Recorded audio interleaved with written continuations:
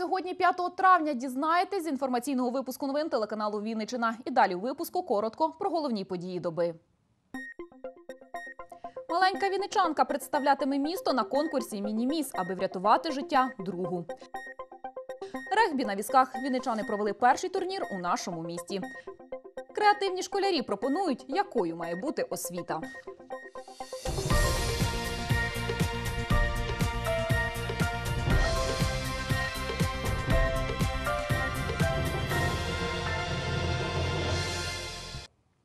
Пенсії українців стали більшими у зв'язку зі зміною прожиткового мінімуму. Зросли і соціальні виплати на догляд інвалідам війни, надбавки донорам та різні види пенсійних виплат. Пенсійний фонд вже провів перерахунок, причому процедура відбувалась автоматично і звертатись громадянам додатково не потрібно.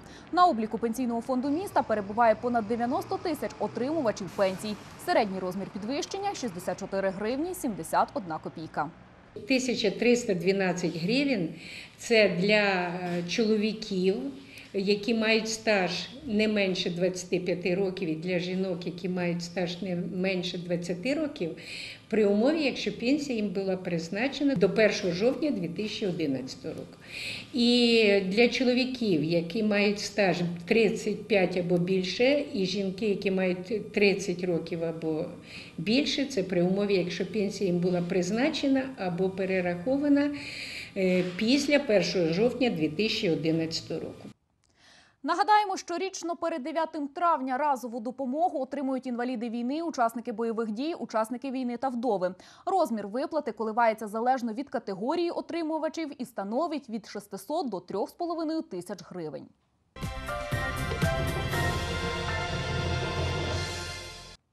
Сучасна школа, якою її хочуть бачити учні. У Вінниці стартував проект Право на освіту. Його учасники школярі з усієї країни та навіть за кордону. Перший етап проекту написання есе ще триває. Далі найкращі приїдуть до нашого міста, аби провести урок для усіх бажаючих городян. Деталі освітнього проекту у сюжеті. У школу як на свято. Саме цього прагнуть досягти організатори проекту Право на освіту, зруйнувати стереотипи та зробити навчання цікавим для сучасних дітей. Наразі учасниками конкурсу педагогічної освіти стало майже півтори сотні українських школярів.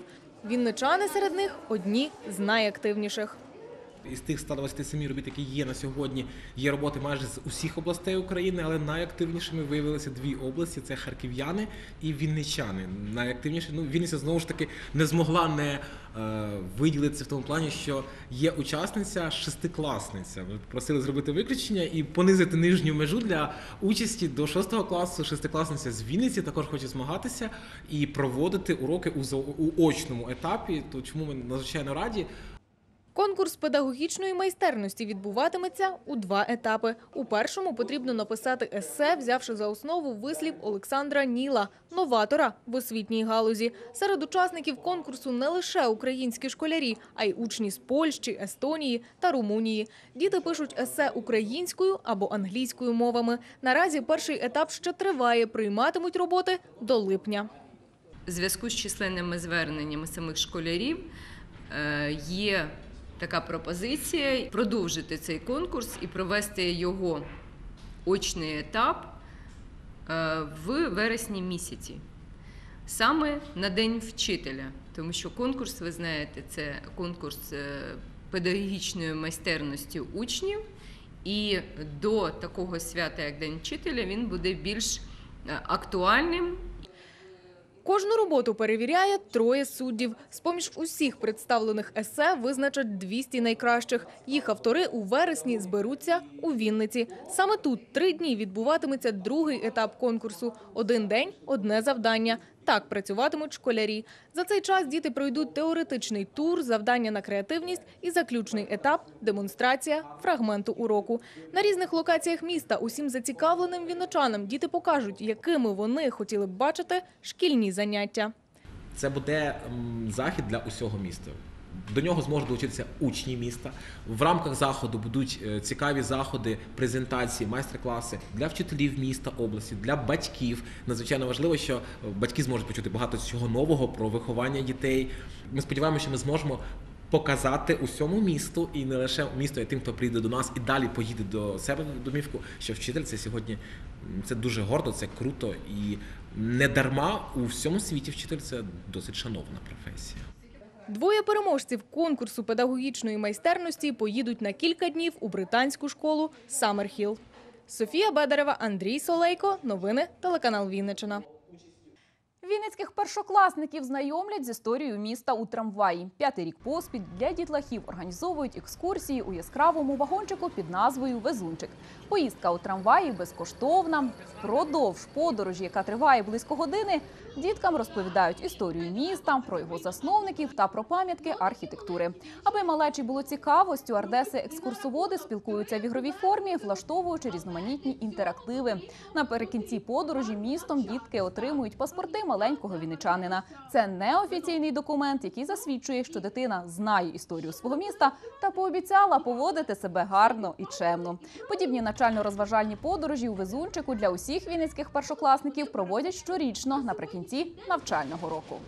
Ми е, сьогодні катаємо діток третьої школи. У нас зупинка починається біля Макдональдса, і далі ми подорожуємо до залізничного вокзалу і повертаємось до театральної. Під час проекту і самої екскурсії ми діткам проводимо е, з ними граємо рухливі ігри, розповідаємо історію міста Вінниці, хто заснував саме, щоб вони знали, що наше місто є найкращим, які історичні пам'ятки і хто саме вніс вклад такий великий в місто. На конкурс краси, щоб врятувати життя, маленька віничанка змагатиметься за титул Міні-міс Лемберг 2017. Благодійний дитячий конкурс краси це не просто шанс проявити себе та свої таланти, а й на всю Україну розповісти про людей, які потребують допомоги. Десятирічна Ліза у свої роки вже опанувала бальні танці, гімнастику та навіть незвичний для дівчат воркаут, тренування на турніку і брусах. У своїх захопленнях дівчинка вже досягла високих результатів. Про всеукраїнський благодійний дитячий конкурс краси та моди Ліза дізналась на одному з тренувань і одразу ж погодилась взяти участь. каже, мріяла про це усе життя. Це була давно моя одна з моїх мрій, і я дуже хотіла взяти участь. Деякі переживання є, але більшість радість.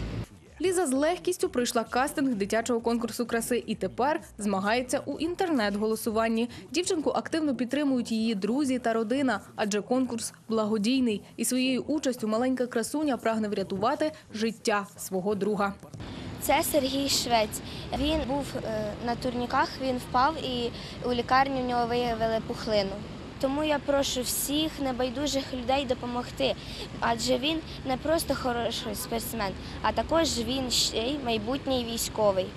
Для маленької Лізи та її родини проблема онкозахворювань дуже близька. Усього кілька років тому її батьку вдалося здолати хворобу. три роки назад. Йому зробили операцію. Ми дуже важко це все пережили, але Бог дав нам е, на життя. Е, Чому тому я й хочу допомогти іншим людям. Також тато Лізи захищав Україну на сході. Саме тому для дівчинки участь у конкурсі безкоштовна. Окрім цього, дітям учасників АТО з усієї України на період конкурсу організатори надають безкоштовне житло та харчування. Приймає участь понад 40 дітей конкурсі. Е, Половина дітей йде на безкоштовному, так як ідуть діти учасників АТО, а половина е, здійснює оплату. Впродовж підготовчого періоду для дітей будуть проведені фотосесії. Викладачі даватимуть уроки із дефіле, ораторського мистецтва, навчатимуть їх артистизму, спілкуванню з глядацькою аудиторією та вмінню впевнено триматися на великій сцені. Фінал всеукраїнського благодійного дитячого конкурсу краси та моди відбудеться 9 травня у Львові. Софія Бедерева, Олександр Малий. Новини телеканал Вінниччина. Перший відкритий турнір з регбі на візках серед людей з інвалідністю відбувся у Вінниці. На змагання з'їхали спортсмени з Києва, Житомира, Рівного та Вінниці. Поєдинки тривали весь день у спортивній залі школи номер 6. Даний навчальний заклад обладнаний пандусом та ліфтом для людей, які пересуваються на візку. Як відбувалися змагання та хто виборов перемогу, далі у сюжеті. Регбі на візках – гра, яка поєднує в собі елементи класичного регбі, американського футболу та баскетболу. На полі дві команди. Всі учасники – люди з інвалідністю, переважно з травмами хребта шийного відділу. Даний вид спорту в Україні розвивається. У Вінниці лише кілька спортсменів займаються регбі. Проте це не завадило організувати перший в області турнір та покликати учасників з різних регіонів. Це відкритий турнір з регбі вперше відбувається в Вінниці. Приїхало 25 учасників чотирьох міст: Київ, Рівне, Житомир, Вінниця. Всі, е, всі міста мають бути комфортними, і люди мають займатися тими видами спорту, які їх цікавить. Вони мають розвиватися, мають досягати своєї мети, мають реалізовувати себе в житті. Ініціював змагання Андрій Щербацький. Хлопець почав займатися регбі зовсім недавно. Гра йому сподобалась, і він вирішив її розвивати в рідному місті. Досвід гри переймав у Житомирі. Андрій каже, цей вид спорту йому та іншим людям з інвалідністю до душі. Однак вивести цей вид спорту на високий рівень заважає відсутність коштів. Візки для гри та інші засоби досить дорогі. Це дорога річ. Новий візок коштує 5 тисяч доларів, орієнтовно так. І це дуже ну, хлопці купляють, але вони шукають БУ е, за кордоном, е, перекупляють в тих команд, які вже на них відіграли на перший рік. Вони можуть бути поломані, криві рами, вони їх ремонтують, е, реставрують і грають. В першу чергу там розвал коліс стоїть дуже широкий. Завдяки цьому візок дуже маневрує на рівній площині, і спортсмен може швидко розвернутися вокруг своєї осі декілька разів Ну це швидко. На обич- звичайному візку цього ну так просто не зробиш. Гра досить травматична. Спортсмени постійно зіштовхуються, здирають до крові руки та навіть є ризики перекинути візок. Це не злякало єдину дівчину змагань Амелію Кушко. Дівчина перейняла любов до регбі від чоловіка і сьогодні від гри отримує неймовірне задоволення. Эмоции бешеные просто. ну, Энергия во все стороны хлещет. Адреналин зашкаливает просто. И хочется играть, и играть, и играть. Потому что ну, вы сами видите, насколько жестокий это вид спорта. В результаті запеклої боротьби перемогу здобула досвідчена київська команда. Хлопці кажуть, на перемогу сподівались, однак важливіше для них було зустрітись з іншими гравцями, адже учасники команди з різних регіонів і зустрічаються досить рідко, лише на з'їздах. Ми знали, що команда із Житомира дуже сильна. Команда вони постійно тренуються, що в нас немає такої можливості. Ми всі живемо по різним місцям, вони з одного міста всі, а ми з усієї України, нас навіть із Запоріжжя, тобто легіонери, скажімо так. Є з Білої церкви, хтось з Києва, тобто отак. От і в нас немає можливості грати дуже часто. Ми зустрічаємося на зборах. Це вже здається четверті збори на Україні. До цього були е, Польща, Німеччина, Італія, ну дуже часто Польща. Подарунком для учасників змагань та вболівальників став танець дівчат на візках, який завершив церемонію нагородження.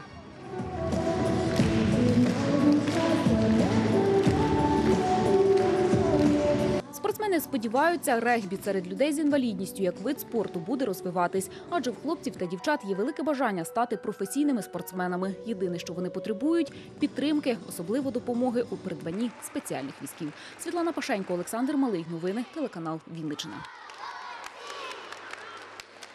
І прогноз погоди від синоптиків для Вінниці далі.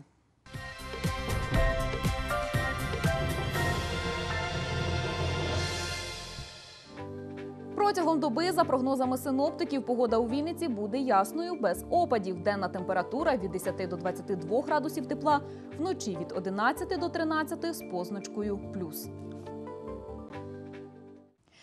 Це всі новини на сьогодні. Випуски новин телеканалу Вінниччина переглядайте в соціальних мережах та на каналі у Ютуб. Завтра, як завжди, підсумки тижня для вас підіб'є Софія Бедерева.